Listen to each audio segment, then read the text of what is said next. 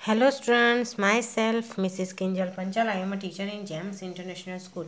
Students of standard 4th, listen carefully. Students, in this video I will continue your unit 11, The Wonderful World. Ak- Adbhut Dunya. Wonderful word. Okay. Students, I have already explained this paragraph. Okay. The Queen of Flowers. The Queen of Flowers. फूलों की रानी कौन है रोज okay चलो नीचे activities one activity one write a few lines to describe a rose हमें यहाँ से थोड़ी सी लाइंस लिखना है रोज़ को डिस्क्राइब करने के लिए। मतलब रोज़ के बारे में हमें थोड़ी सी लाइन लिखना है ओके जो मैंने यहाँ लिखी है, यही जो है, वो आपकी वर्कबुक में भी ऑलरेडी है।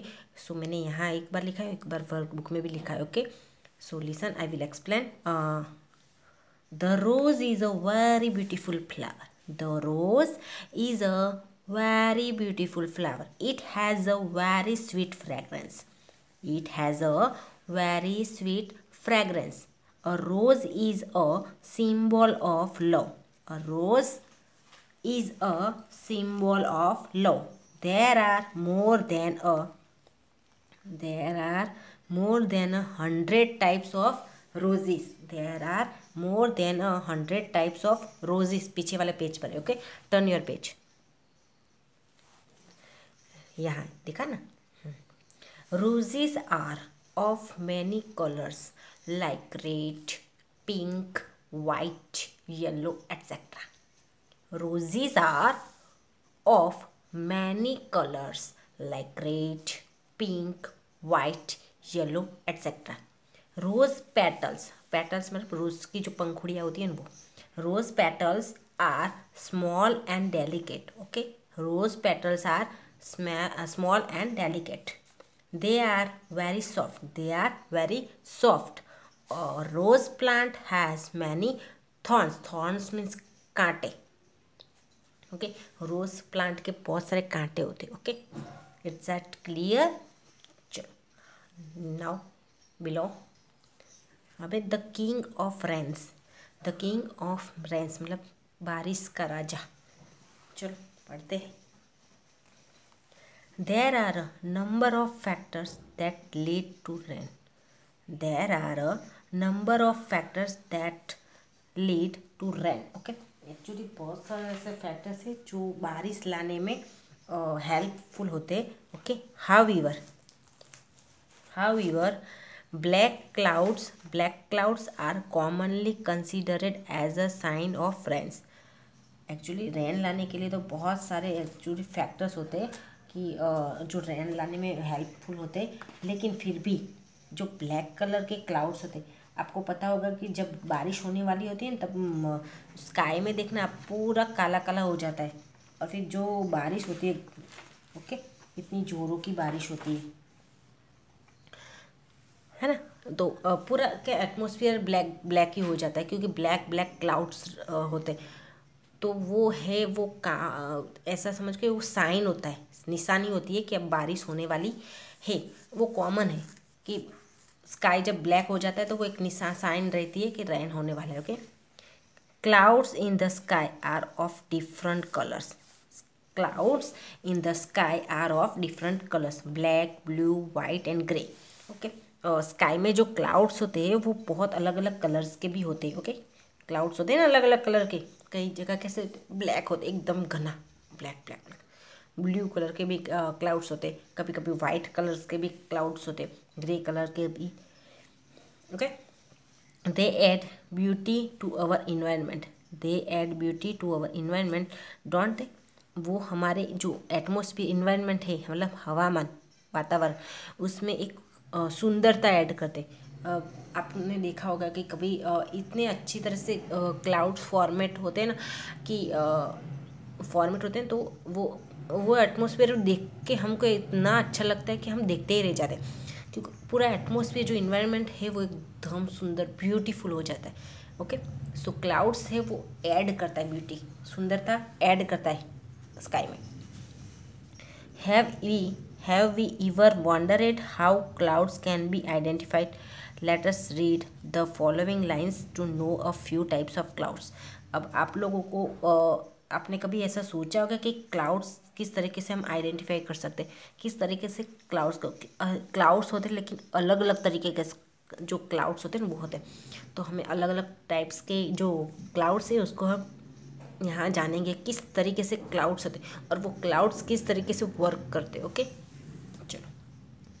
अब है cirrus clouds cirrus clouds look like a curl of hair while stratus clouds look like straight lines in the sky okay यानी क्लाउड्स भी अलग अलग तरीके से होते और उनके जो नाम होते वो भी अलग अलग तरीके से थे जैसे कई साइरस क्लाउड्स है साइरस क्लाउड्स वो कैसे होते? हैं जैसे हमारे हेयर होते हैं वो कर्ल्स जैसे नहीं कर्ल्स नहीं करते, उसी तरीके देखो ये कर्ल्स कर्ल्स जैसे ना, जैसे हेयर कैसे कर्ल्स होते देखो।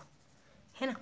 उस तरीके से साइरस क्लाउड्स होते फिर स्ट्रेटस स्ट्रेटस क्लाउड्स जो होते हैं, वो किस तरीके से दिखते हैं। स्ट्रेट लाइन स्काई में एकदम स्ट्रेट लाइन होती है ना सीधी सीधी लाइन उस तरीके से क्लाउड्स हो तो उसको स्ट्रेटस क्लाउड्स क्लाउड्स बोलते हैं okay the nimbus clouds the nimbus clouds are clouds of rain us look at a picture of the nimbus clouds okay nimbus clouds जो होते हैं निम्बस क्लाउड्स वो है क्लाउड्स ऑफ़ रेन मतलब बारिश के क्लाउड्स होते हैं। जो बारिश लाने में जो बारिश होने से पहले जो क्लाउड्स होते हैं, उसको कौन से क्लाउड्स बोलेंगे? निम्बस क्लाउड्स ओके क्योंकि पूरा रेड रेड ब्लैक ब्लैक होता है सॉरी ब्लैक ब्लैक होता है, पूरा घना घना बोलते हैं, काला घना।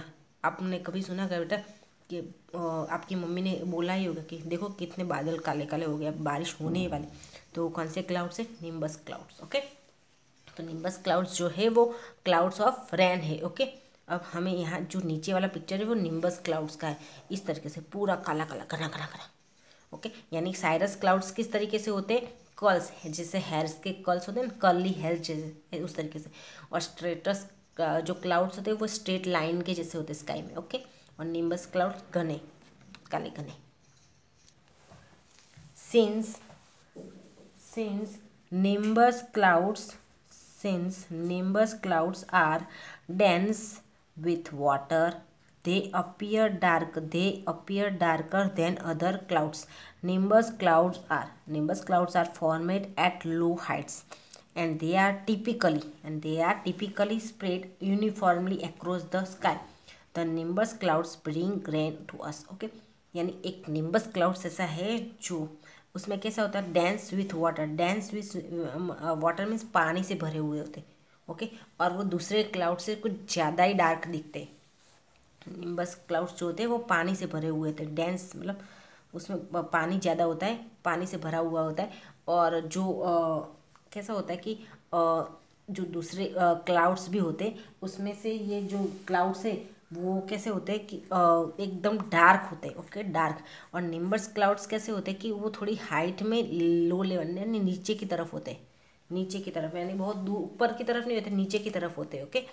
और और नॉर्मली कैसे, टिपिकली मतलब नॉर्मली, टिपिकली मतलब नॉर्मली वो कैसे, एक spread uniformly across the sky next sky के अंदर एकदम यूनिफॉर्मली मतलब एक तरीके, जैसे यूनिफॉर्म सब बच्चों का स्कूल में यूनिफॉर्म जो होता है वो किस एक तरीके से होता है?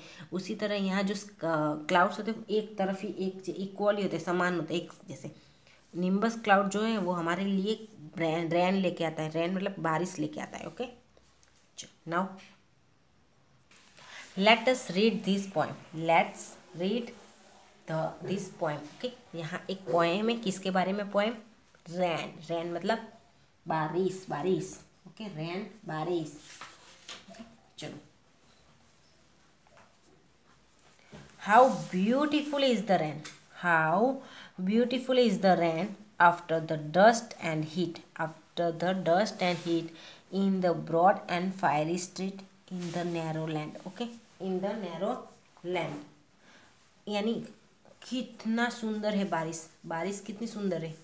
Okay okay? यानी after the dust and heat dust means कैसा कि जो गर्मियों की सीज़न होती है समर उससे यानी गर्मियों, गर्मी के बाद ब्रॉड मतलब जो स्ट्रीट होती है ब्रॉड मतलब चौड़ी चौड़ी चौड़ी मतलब ऐसी वाइड और फायरली मतलब फायरी मतलब हॉट गर्मी जो गर्म हुई हुई सेरी होती है ना, उसमें और नैरो लैंड नैरो लैंड मतलब एकदम स्मॉल स्ट्रीट होते हैं स्मॉल कई स्ट्रीट कैसी होती, बड़ी होती, चौड़ी। और अब गर्मी के मौसम में कहते हैं, हर जगह जैसे सब चीज़ें गरम गरम होती है। उस तरीके की बात करी गई, ओके? यानी रैन कितना सुंदर, किस तरीके से सुंदर होता है? क्योंकि समर के बाद आफ्टर गर्मी के, यानी गर्मी की सीज़न के बाद जो चौड़ी गर्म जो स्ट्रीट इस एरिया या तो नैरो लैंड में भी ऐसा, okay?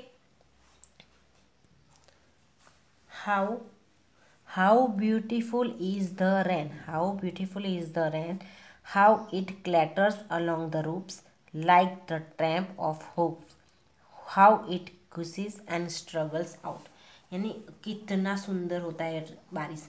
बारिश कितनी सुंदर होती है। जैसे how it clatters along the roofs roofs means clatters means ज़ोर से जो साउंड करते हैं। रूप्स मीन्स वो छापरे होते हैं ना। ओके छापरा छापरा जिसको बोलते हैं उसके ऊपर कैसे ज़ोर ज़ोर से जो उस बारिश होती है तो फिर उसके छांटे गिरते तो कई कई जगह ऐसे होते हैं कि आवाज़ आती है ज़ोर ज़ोर से। क्योंकि अगर जोरों से बारिश होगी तो आवाज़ तो आएगी फार फार ज़ोर से साउंड ज़ोर की आवाज़ होगी। Like the tramp of hoofs hoofs means जो हॉर्स के फीट होते हैं ना हॉर्स के जो फ़ी, फीट्स होते हैं ना वो चलते हैं। हॉर्स जब चलता है तो कैसी आवाज़ आती है? तबड़िक तबड़िक तबड़िक तबड़िक, है ना? उसी तरीके की आवाज़ होती है।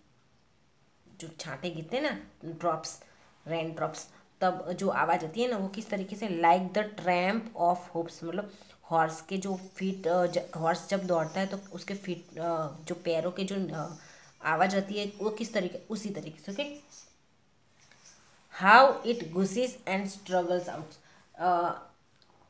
यानी किस तरीके से वो फ्लो होती है और एकदम अच्छी तरह से वो किस तरीके से वो फ्लो गुसिस मतलब फ्लो करना, यानी बहना okay from the throat of the overflowing spout across the window pane, it pours and pours and swift and wide okay?